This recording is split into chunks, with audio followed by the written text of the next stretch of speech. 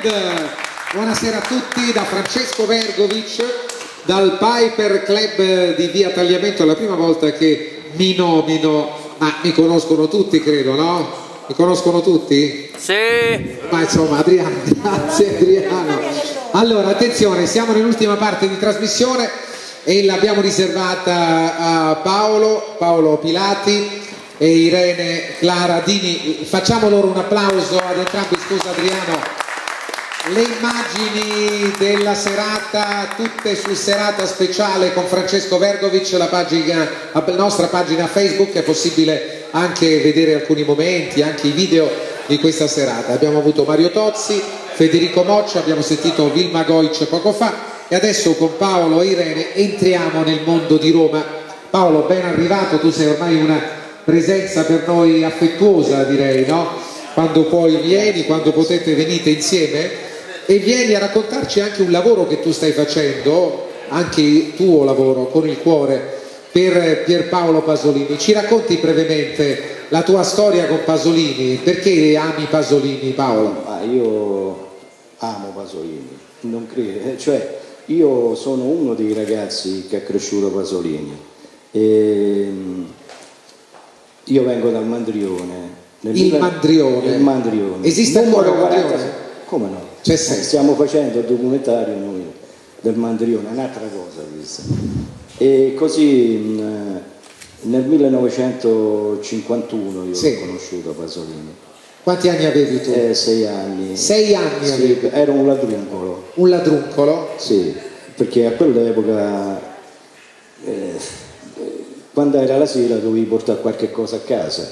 E cioè, cioè eh, uscivi non... la mattina e dovevi tornare a casa con con un malloppo, con un bottino. No, un malloppo. No, un bottino, insomma, un bottino, qualcosa. Era così, al sì. Mandrione era così.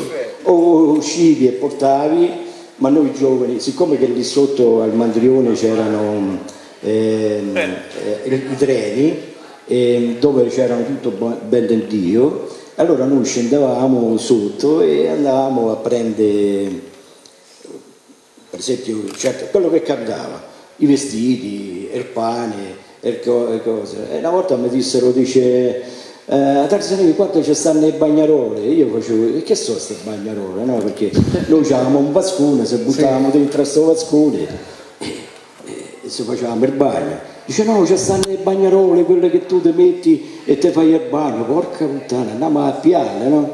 E io sono sceso giù, allora le faccio a Pachito e bum, oh datemi questa bagnarola. Dice aspetta, girati e tirano questa bagnarola, non era la bagnarola, era una vasca da bagno da chisa. Io ero piccolito, sei anni, non me la facevo a tenere e sono rimasto sotto sotto a questa cosa, oh tiratemi fuori che qui, oh sta arriva la guardia, no, arrivavano le guardie perché c'erano le guardie che Cosa? Noi ragazzini magari non ci dicevano niente. E insomma, levano sta cosa e mi tirano fuori. Mentre che risalivo l'Argine, eh, c'era Pasolini, con, c'aveva un topolino, stava insieme con una donna però.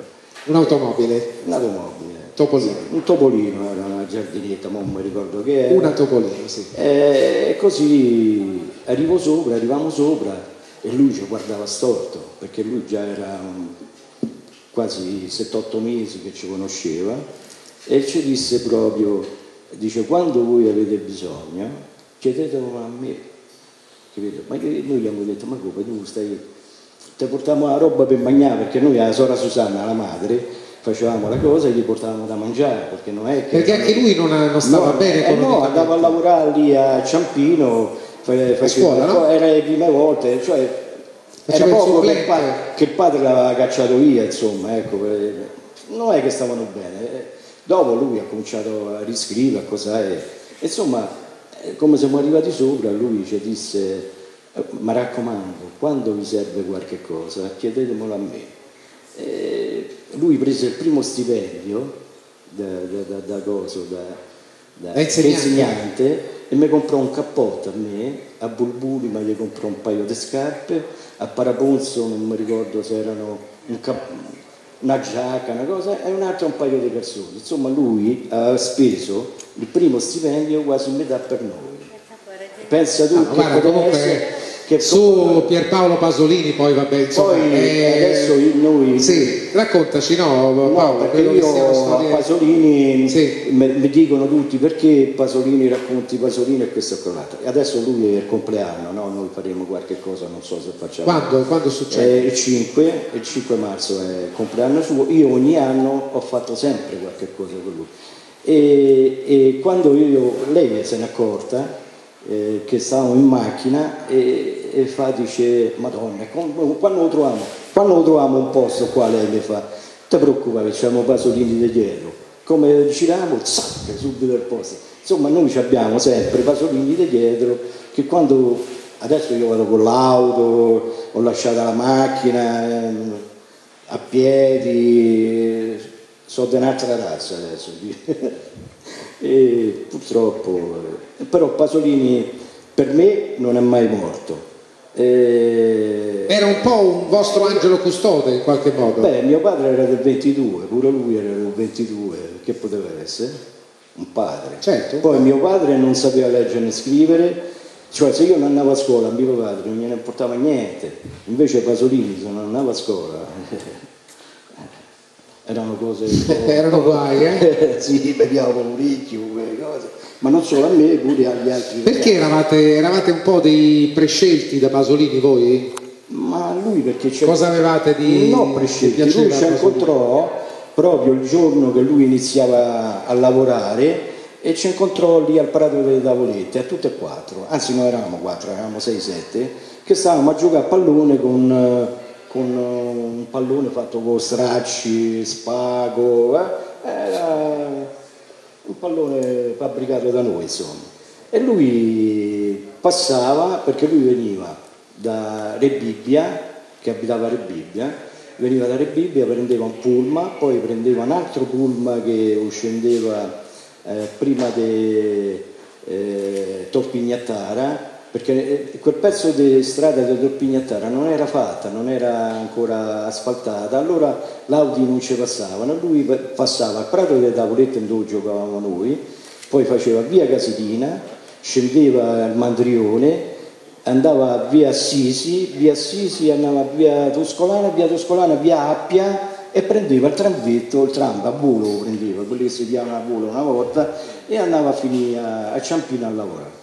Tutti Pensa un po' che cosa faceva la sera Pasolini, e il giorno quando ritornava. Paolo, un eh. secondo soltanto. Allora, sì. eh, l'incontro con Irene, ci presenti Irene? L'incontro con Irene è meglio che lo dice lei perché... Irene, benvenuta, anche eh, tu stai, lavori insieme a Paolo a questo progetto su Pasolini. Sì, sì grazie, buonasera. E io vi ringrazio, è un onore per noi essere qui a questo ah, no, no, no.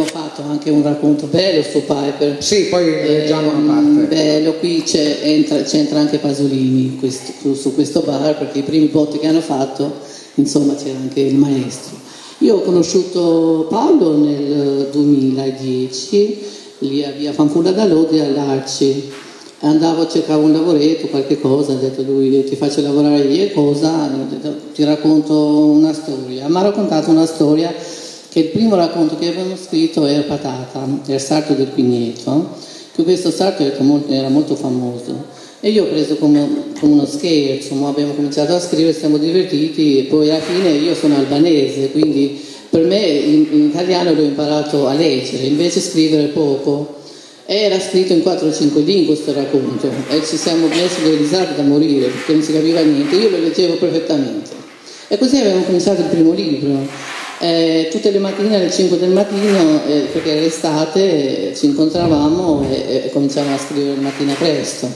Poi andavamo sui luoghi, io sono andata, io abitavo via, vicino a via Piccinini dove abitavo questo sarto e non sapevo, che, quando ho scritto via Nicola Piccinini io pensavo che dove si trova, invece ce l'aveva all'angolo della casa. E siamo andati in cerca dei luoghi dove Pasolini ha camminato, dove lui è, è andato in giro per Roma a, a, vedere i posti dove lui andava a scrivere, dove noi siamo andati sulle orme di Pasolini e mi sono innamorata proprio di questo di questa storia, di questa cosa vivente, perché Pasolini la puoi leggere tutta la vita, ma non la conosci, cioè senti le cose che dicono gli altri, i libri, non è niente quello che racconta lui che l'ha vissuto veramente. E quindi quando lui racconta ti sembra che sei di dentro, che Pasolini ce l'hai di dietro, insomma. Sì, sembra veramente Paolo lo racconta con naturalezza. Sì, è tutta un'altra cosa. Voi avete scritto anche un pezzo, lo vogliamo Martina, vieni su sì, un attimo. Abbiamo scritto nel Piper. Allora, prende, prendiamo il microfono, questo è un pezzo che avete scritto Irene e Paolo, Sì. dedicato al Piper Club e ad un episodio accaduto nel 66, se non sbaglio, Sì. che vede eh, appena aperto, sì, perché credo che il Piper eh, ha, aperto i battenti nel 65, quindi appena forse Sì. qualche mese prima, e un racconto che vede coinvolto te e anche Pasolini. Eh, tanti- Aspetta, sì? Io con tutti i vignettini che Sì. eravamo e poi con i pariolini, insomma, adesso lei lo legge un po', però noi Sentiamo, insomma facciamo noi a botte, ecco. ecco Martina Bernardini che scrive sul quotidiano del Lazio e Roma IT, ci legge adesso, adesso questo brano da questo scritto di Irene e Paolo Pilati. Questa è una storia del Piper, 1966. Te partimo io, Tarzanetto, Bruschetta, Palaponzo, Pachito, Ciriola, Bulbulli, Mancapoccione e Cowboy, che era Gigetto, il nostro accompagnatore. Eravamo una decina, undici con Pierpaolo, cominciamo a ballare e tutti ci guardavano, che eravamo tutti bravi. E Capoccione, che era uno degli meglio, viene invitato sul palco a ballare insieme a sta bionda buona. Bandone, Pachito e Leandro, ma guarda quanto è bella, me fanno, come se stiamo a divertire, una meraviglia. Con pochi soldi, noi ragazzi dei Pasolini, e non solo quel giorno, ci si divertiva sempre. I personaggi che avevamo visto al Piper a cantare erano Renato Zero, Mia Martini, Little Tony, Bobby Solo, Loredana Bertè e tanti altri ancora. Un grande saluto al proprietario del Piper, che si chiamava Bommiga e che sapeva come comportarsi con la gente. Era veramente un gran maestro. Ha fatto diventare Piper il locale più conosciuto del mondo. In questo momento che Irene Stama scrive, si può dire che il Pigneto è diventato Liparioli e che Lipariolini sono diventati i Borgatari. Vedi com'è la vita. Eh, bravo, bravi, grazie Martina. Bella questa, bella questa sul Pigneto. Allora Stefano, dammi i tempi poi, eh? noi siamo in diretta su Radio Radio, do uno sguardo, abbiamo ancora, sì, abbiamo qualche minuto ancora. Irene ci hai raccontato un po' questa storia anche del vostro incontro e di quanto sia stato emozionante ripercorrere un po' i luoghi di Pierpaolo Pasolini. Quali erano Paolo i luoghi di, di Pasolini a Roma? Hai detto il Mandrione, il Pigneto. Eh, io posso parlare di cioè quello che ho, che ho vissuto io con Pasolini. Pasolini andava dappertutto perché noi andavamo in qualsiasi quartiere. Eh, però il Mandrione, eh, Pigneto, eh, Certosa, Certosa la nominano poco. Dov'è Tor- Certosa? È sempre un quartierino dietro, dietro Tor Pignattara, lì dietro. Tor Pignattara, eh, la Maranella. eh, Ma si poteva, si poteva Certo, girare tranquillamente in quelle zone, Paolo? Beh, al Pigneto quando io ero giovane non credo. No, non troppo, eh. Sì, perché Come faceva Pasolini a muoversi tranquillamente senza che gli succedesse era, nulla? Era un maestro di arti marziali, cioè vicino a lui chi si avvicinava. Cioè, Addirittura, veramente, era- non era piccolo Pasolini. io- lui mi portò a fare il pugilato che avevo 8 anni e l'ho fatto fino a quasi 20 anni. Ho fatto il pugile, Ah, sei stato il quale lui è stato il mio primo maestro. Poi, Ah. Però io non ho mai, cioè noi in sei, Sanna, tutti i campioni, non riuscivamo mai a prenderlo. Veramente? Lui era un maestro, che scherzare. Ah. Non lo sa, cioè poca gente sa che lui era un maestro di arti marziali. Quando dicevano che lui andava eh, nella giungla, eh, andava a cercare i ragazzini e queste cose, là, no, lui andava a imparare le arti marziali. È stato, poi certo, era pure un omosessuale, come io andavo a cercare le donne, lui si andava a cercare l'uomo. Sì, sì, sì, però questo non, non è... Senti eh, Paolo, quindi credo che tu sia rimasto anche sorpreso e tu abbia qualche dubbio sul modo in cui si dice sia morto Pasolini. Ehm, come è morto Pasolini. No, ma chiedo, qualche dubbio ti sarà venuto, no? dici è un maestro di arti marziali, Apposta. si fa fregare da un ragazzotto. No, che quello lì noi l'abbiamo visto subito perché noi siamo andati lì al commissariato, era, pesava un etto e mezzo, che, che- che- poteva ammazzare Pasolini. Pelosi, eh? Pelosi, sì. Pino Pelosi. Sì, poi Pelosi io l'ho ho fatto un sacco di interviste con lui, mi ha sempre negato che lui è stato ammazzato, che ha ammazzato Pasolini. E, e infatti lo sta rinnegando. lo Sì, sì, sì, sì. Beh, si Poi, dice che lui avesse paura, cosa, qualcuno. eh, un'altra cosa che io sto- stiamo facendo io e Irene adesso, eh, stiamo scrivendo eh, l'ultimo giorno dei Pasolini, proprio come, come, eh, noi amici dei Pasolini l'abbiamo cosa, proprio l'ultimo giorno è per una cosa americana. eh, Per una produzione americana, Una eh? produzione americana. Senti, ma secondo voi Pasolini, noi ne parliamo ancora perché questo, al di là della, della statura in- intellettuale di Pasolini, ma eh, c'è per fortuna qualcuno che lo ricorda, lo ricordano a Roma e va bene, Sì, sì, il Palexpo ricordano. se ne occupa, ma lo stanno facendo anche in Francia se si Sì, va come no, io eh, ma- in questo cioè, momento. Cioè, hanno fatto un mio documentario, là, quello che è arrivato secondo a Cannes, hanno fatto un documentario che si chiama Petrolio e Petrolio, e l'hanno fatto lì eh, in Francia, più un altro coso che hanno fatto le riprese con me e lei lì eh, al Barnecci. Poi ci hanno invitato, però noi siamo molto presi per questo racconto che stiamo scrivendo adesso. e non- Irene mi ha detto no, no, non andiamo perché era un momento proprio de- dell'ultimo giorno dei Pasolini che stavamo scrivendo. Eh beh, Allora, insomma, non ci siamo mossi perché siamo qui ormai- cioè io parlo Sì. lei scrive e quando io ho dentro eh, lei addirittura a me non, me- non mi interrompe mai perché se mi interrompe poi mi ricordo un cacchio allora no che non mi ricordo un cacchio me lo ricordo però lei Senti. è così forte Sì. e brava che io ho scritto Irene. parecchi parecchie con parecchie persone hai scritto ma non hai mai trovato una persona così attenta. eh. non sono mai riuscito a sono 600 racconti che io Eh, ho ci aspettiamo un lavorone, Pellegrino. Eh. sono 600 racconti che io ho dei, dei- dei Pasolini Senti, però mi incuriosisce molto Paolo, questo l'ultimo giorno di Pasolini, eh, sì abbiamo qualche minuto poi chiudiamo con la Radio Radio Band, Sì. È l'ultimo giorno di Pasolini, c'eravate anche voi?